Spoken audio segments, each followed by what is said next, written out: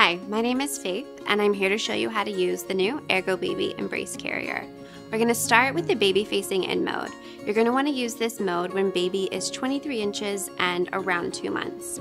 The first thing you're going to do is take the carrier upside down so that the waistband is on top and the Ergobaby logo is facing your body.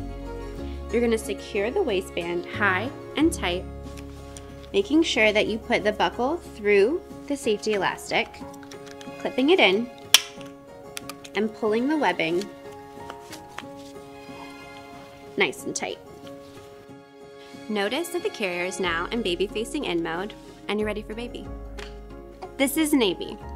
With one hand holding baby at all times, you're gonna lift the panel up behind baby's back to the nape of their neck. This is gonna make sure that the carrier stays in the best position for baby. Again, with one hand securing the carrier, you're gonna take the shoulder strap over one shoulder, pull it down and across your body, securing it in the clip and pulling tight. And you're gonna do the exact same thing on the other side.